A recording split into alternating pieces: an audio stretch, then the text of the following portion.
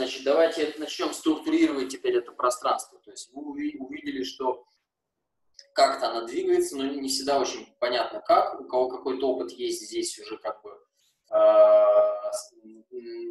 мы начинаем к какому-то рисунку это делать. Э, давайте немножко попробуем разные рисунки подобрать. Значит, существуют разные модели игры оружия. Э, я их просто, ну, как бы, это часть обучения, да, моделирования, я их просто собирал у э, разных людей. смотришь потом, можешь описать в такой терминологии, что человек делает. Мы можем описать тип перемещения всегда человека, три вещи основных. Тип перемещения, потому что кто-то двигается, кто-то стоит, кто-то двигается на скачках, кто-то двигается на, э, в этой самой, в челноке, кто-то вот, работает с переносом веса. Но это, это как бы, если он есть, то это может быть разный движок. Второе, это как двигается рука, потому что, опять-таки, повторюсь, есть люди, которые работают в статике, рука будет статичной.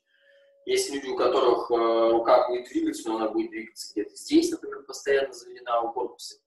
Есть люди, у которых они будут э, какую-то одну фигуру здесь рисовать, например. Есть люди, у которых она будет двигаться совершенно хаотично. А, здесь много вариантов. Здесь есть, там, можно расстегивать по секторам и так далее. Здесь действительно много вариантов. Их полезно потом, когда вы несколько моделей таких загрузите, а, может быть, даже где-то будет своя появляться, или начнете лучше осознавать то, что вы делаете, потому что она, может, и так у вас есть, просто ну, будете, будет более проявлена. Потом можно будет присматриваться к тому, а что делают другие люди. Это всегда полезно. В частности, когда доходит до парной работы, вы с кем-то работаете, у вас появляется как бы осмысление как именно, закономерность, просчет закономерности, как именно двигается рука у противника. Вы увидите, что там очень немного вариантов. По-настоящему хаотично это делать трудно.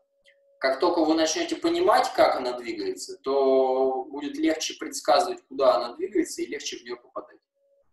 А, это такие очень как бы, вещи вроде простые, но когда они наработаны, их еще нарабатывать просто не очень легко. Когда они наработаны, они очень эффективны.